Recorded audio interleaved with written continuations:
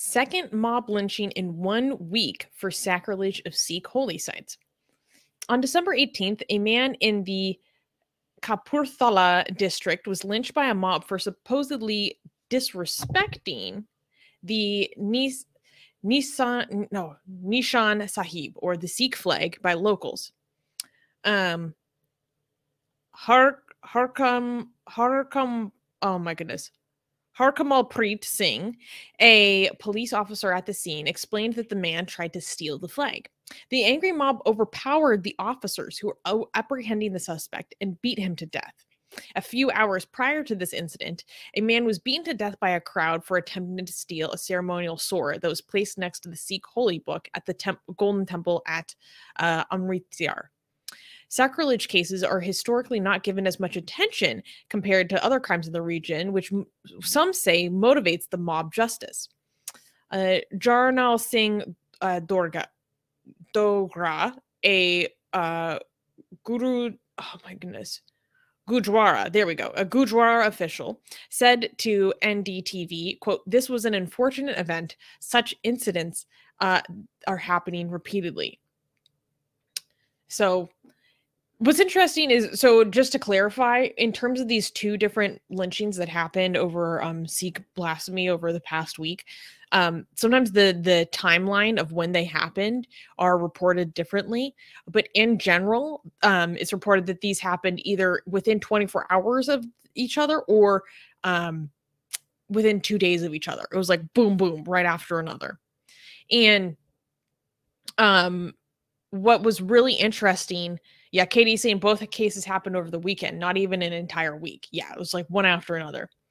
Um, there's been a huge backlash over these types of events. So there was a um, public official. Let me look up exactly what his um, title is. Um, but there was, oh, he's a the Punjab Congress chief, Navjot Singh Sidhu demanded public executions for those found guilty of sacrilege. So he's saying he he declared that people should be publicly hanged for mm-hmm. sacrilege. What's happening with is this like a recent trend or was this always there and we didn't like why is this picking up faster than before? Like is there like is there a mood change or something within the Sikh community? Like how is this happening so fast? I think there back? is rising tensions. Partially, it does have to do with the elections happening in the area. I think that's part of it. Hmm so it's it, i want to read part of his quote. He's saying if any inc- incidence of sacrilege takes place be it of the quran the bhagavad gita or the guru granth sahib the culprits should be publicly hanged should be given the maximum punishment under the constitution because such incidents hurts our sentiments. Anyone oh. can make a mistake but not but this is not a mistake. This is a conspiracy to weaken and finish the society so when I was doing research on this, I found it really interesting that there were a number of Sikh leaders talking about how these incidents of sacrilege are a deep rooted conspiracy, to use their quotations. So they feel like this is actually a conspiracy to target them specifically, attack them specifically. Secular radio mm-hmm. saying, God damn, bro. Fines, totally. Fines, totally. Jail, sure. Public executions, F it, man. Not Calm fine, down. not sure. Like none of this, guys. This is we're feelings we're talking about here. Okay, so guys, never forget that when when people make fun of you know far leftist wokistani people for being sensitive, okay, and snowflakes and butthurt over everything, okay never forget that the OG sensitive snowflakes are right leaning religious people, okay? Because as bad as, you know, Wokistanis are when it comes to like, oh, my feelings, my feelings, somebody save my feelings. They, I don't recall them being so hurt that think that it justifies execution. okay? I don't recall them th- ever thinking like my feelings are so precious that you hurting them requires well, justifies execution. Like i've never seen any group of people take their feelings as so seriously as much as religious people do. Like is that not fair to say No, it's so true. When I was reading this news, I literally exclaimed out loud, and like the person I was with was like, "What? What's going on?" I, I was just so like pissed and outraged. I was like, "Of course, to make it so clear, so obvious that this is literally about your feelings being hurt." I'm like, I feel like this is so specific to religion. Are are there other ideologies that justify this simply on the basis of your sentiments or feelings being hurt? Like, I can't think of it. I don't think I don't think there are to my that's coming to mind political ideologies that operate on this way. There's like weird cults, but I would put that also in the realm of superstition dogma that you know is neighbors with religion. It's so specific. read what yes, this Hakim person saying. is what Hakim. who's saying? Hakim. Hakam is Hakam bil Valazi. Okay, I don't know if I read that right. My feelings are more important than your existence. Yeah, and that's the message yeah. here. That's the message. Um, Katie is saying, I thought they are. I thought they already think you are connected to the ISI. Oh no, this was from the last. Oh no, that's what. Sorry, sorry, that's it. Rudresh is saying this movement was given power during farmers' protest. Is that true? We don't know if that's true. I I don't know if I completely agree with that. I feel like Sikhs definitely got a heightened profile. Mhm. I don't know if this is a conspiracy or if it's true, so I'm not going to comment on it because some people might suggest that the farmers' uh, protest might try. Some people are trying to delegitimize the farmers' protest by connecting it to the Sikh. You know, I don't know. or so we to don't the know. Khalistani separatist movement. Um, Katie is saying, "Oh, I love this comment. If the sci- if the society is finished by sacrilege, I think such a society should be finished." Boom! Nailed it. Oh my, that that should be printed and framed and hang hung on a wall. Put that on a think- t-shirt. Put it on a t-shirt. Yeah, exactly. Fantastic. Um, Nobara is saying Sikhs are al- were always intolerant of criticism. They seem to slow down in between, but now had a sprung back to life. I don't think we should say Sikhs again because that's like generalizing. say many generalizing all Sikhs. I'm pretty sure there are many Sikhs out there that would condemn this. So let's not overgeneralize an entire group of people. So be guys, it's very like this might seem like I'm being picky, but it's very important. It's It is. very important for us not to use generalizing language and group an entire. I, in- in- you know what? Actually, it's pretty safe to say that the vast majority of the Sikhs on the, in the world will completely condemn this. Okay, so we could see this as a problem. We could see it as a trend. We could see it as a problem that you know that needs to be addressed, and also blame it on Sikhism and religion. Okay, but it's very important not to condemn an entire group of people, and also to address that you know just like most Muslims are better than Islam, most Hindus are better than Hinduism, more most Christians are better than Christianity. I'm pretty sure that most Sikhs are also better than this. Okay, most Sikhs will look at this and will be horrified and will say that they condemn this. Okay, so don't say Sikhs. It's very important that you we use the proper language here. Um, Katie is saying, My sentiments are hurt that there are people getting lynched for alleged blasphemy. Gonna hang all promoters of blasphemy laws now? Hmm. Good point. And, and it this comment really gets to the fact that religious sentiments are privileged above others. Boldly so, right? Like the offense over other things isn't given the same level of gravitas. I also wanted to read this other quote because um, there there I was actually the first leader to condemn these lynchings. Saying days after sacrilege incidents in Punjab, former Chief Minister Captain Amarinder Singh on Tuesday said that there is quote no justification for mob lynching and it is condemnable. to question on to a question on lynchings in um, Amritsar and uh, Kapurthala, Captain Amarinder said that the accused should have been handed over to the police. "Quote: No civilized society can and should approve of such killings."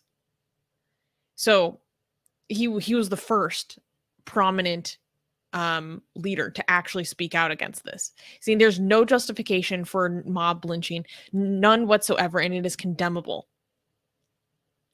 Wait, what, what politician is this? Um, he was a former chief minister. Okay, but So- like, why is this like? Uh, is this the standard that we have that we are like congratulating a politician where there's like mob lynching bad, and we're like, yay! Like, is that how how far back we have gone that we're like impressed by politicians saying mob lynching bad? It it it it caught the attention of news. He was the first person to actually be condemn this.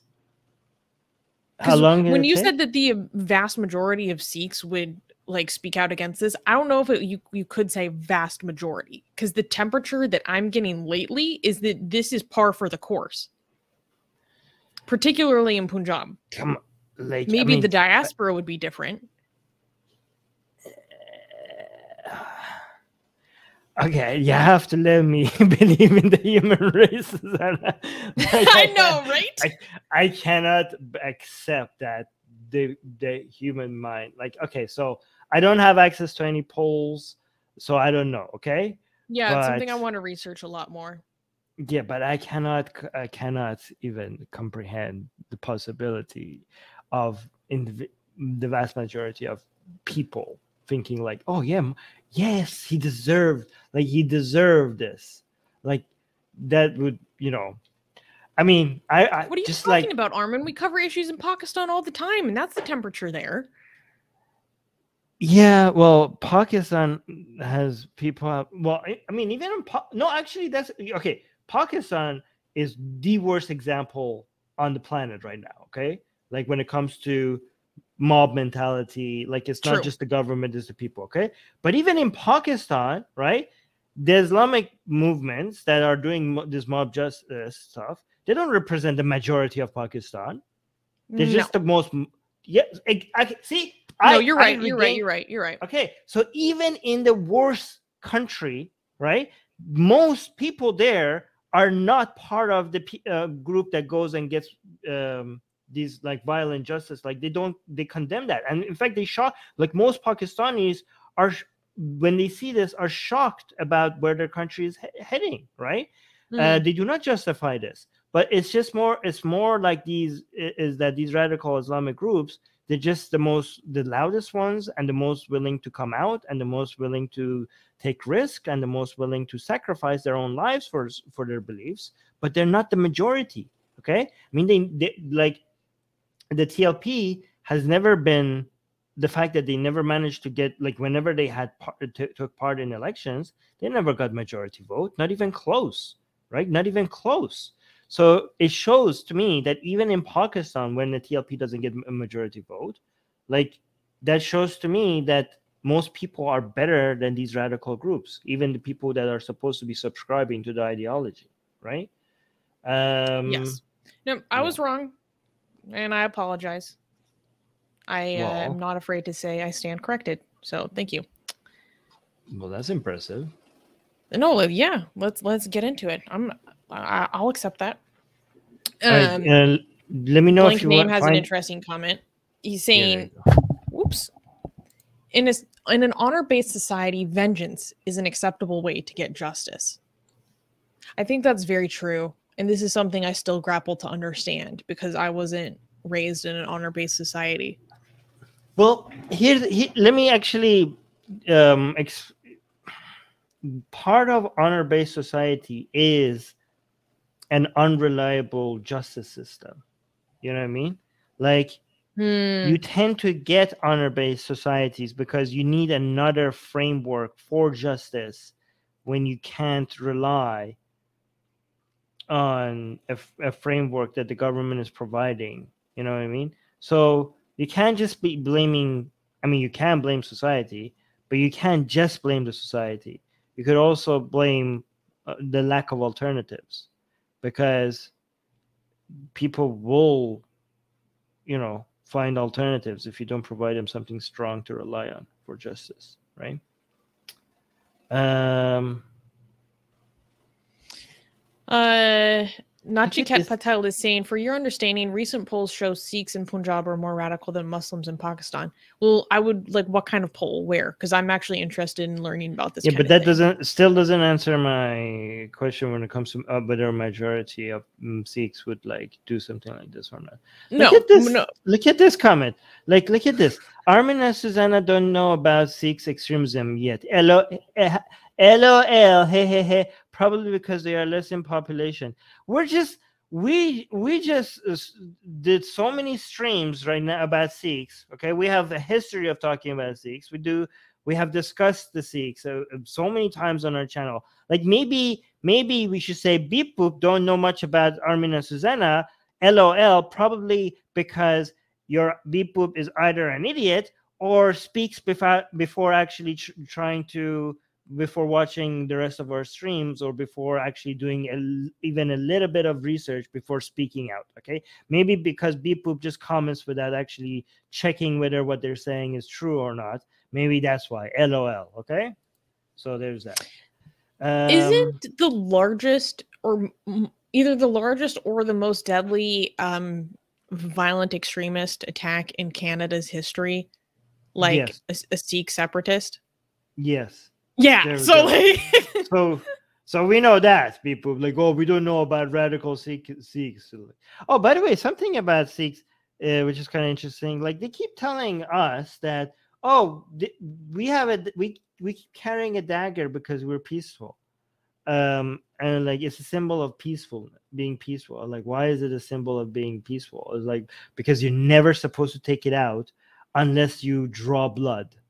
Uh, like so the fact that you're not supposed to take it out unless you draw blood, that makes it a symbol of peace because that means that you you just don't, you know, unshield your sword or dagger or whatever. Like unless you really mean it. I like that doesn't seem that doesn't sound peaceful at all.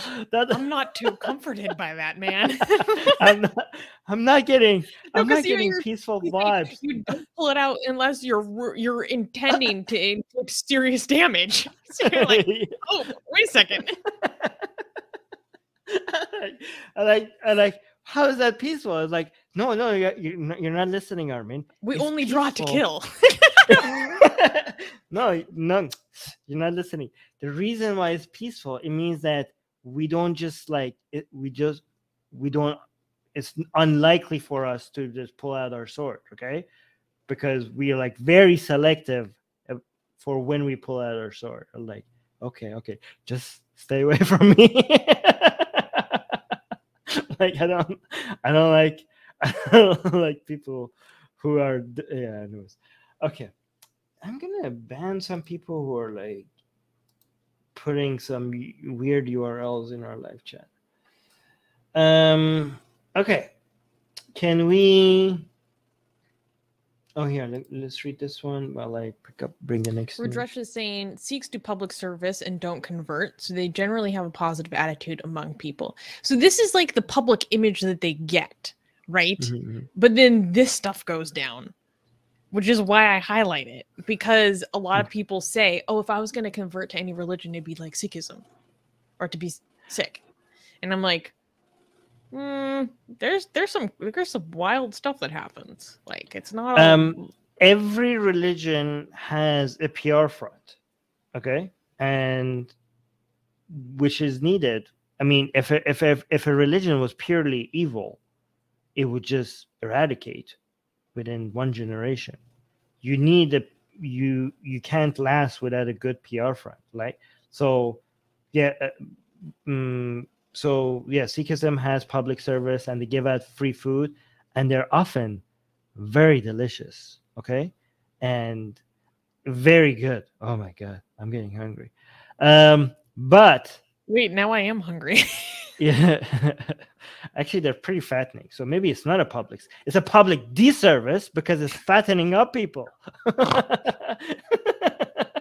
it's it's not good taking people away from the true light of arminism which is to make the world Yeah. lean. it's it's actually it's it's increasing the cost of healthcare. That's what it's doing. Okay, so no, okay, so um no, what was I saying? But okay, but Christianity also has, like, you know how many Christian charities there are, right? You know how many the world charities. I say Christian charities. Are, they are pre. They are they are like they are called charities, but they're actually PR fronts for Christian the Christian brand. Okay, and also Islam has zakat. It's like it's one of the five pillars of Islam. Is like charity is one of the five pillars of Islam, right? So if you think Sikhism is like should be like oh Sikhism is okay, it's not like Islam or Christianity.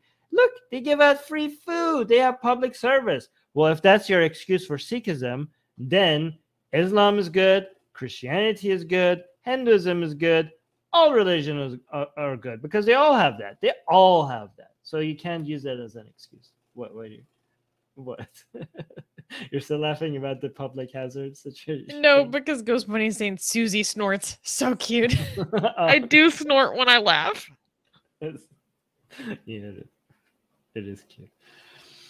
All right, all right. I'm gonna give another. okay, okay. Can we um clap for the next news? Wait, wait, one more, one more comment. This is interesting. Um, Nobara is saying Sikhs, like every other group out there, have their ups and downs. Till the 1990s, Punjabi Hindu families used to donate their eldest sons to Gurdwaras to be raised as Sikhs. Yeah, this is why we don't ju- uh, we, we don't collectively judge an entire group of people. Okay, this is why we don't judge Muslims, we don't judge Christians, we don't judge Hindus, we don't judge Sikhs because there are many good Muslims and bad Muslims, good Christians and bad Christians, good Hindus and bad Hindus, good Sikhs and bad Sikhs, good atheists and bad atheists. Okay, you can't collectively judge an entire group of people. Okay, there are even individuals who used to be good and now they're bad, or used to be bad and now they're good. Like even you can't even judge an, an one individual. Okay, like entire individual. Okay, so what makes you think you could judge an entire group of people? But that's why we judge religions okay? And it's easy guys it's so easy to judge religions. We have like the easiest job in the on the whole planet. You know why? Because they're all moronic. They're all based on nonsense. They're all based on faith okay? We don't judge people. We judge religions and we don't really need that much to go to, to justify ourselves because they're all based on magic. They're all based on lala and woo and mysticism and revelation. Okay, all that's all you need. That's all you need to be like. Okay, this is this is nonsense. This is pathetic. This is weak. This is lame. This needs this needs to be eradicated. We need to move on. We need to progress. Let this let go of this all this like woo fuckery. Come on, guys. Like we need to progress to the next to the next to, to the 21st century. Please let us let us move on. Okay? It's easier to judge religions than people, okay? People are complicated. Religions are just a bunch of nonsensical texts that make no sense at all. Okay? I mean, they make sense if you look at it from a historical perspective and they're interesting, but from like a metaphysical or like claims about the universe or nature. They are absolute garbage nonsense. It's so obvious that they're garbage nonsense. Okay. Anyways. Anyways. okay. Um Dark say I can judge just fine, thank you. Okay. All right. Um be modern already. yes, exactly. Be modern already. That should be my tagline. Be modern already. Modern. No, it should be. I'm just trying to transcend my human form. God damn it. Atheist Republic needs your help. We've been the target of many legal attacks by Hindu nationalists ever since our founder Armin Navabi blasphemed against Hindu deities. We have retained legal counsel to help us defend our access to our community in India. We have started a fundraiser that will help us afford to tackle many legal issues, including judicial harassment and censorship. Whatever you can contribute will go a long ways in helping us in this fight. Link in the description below.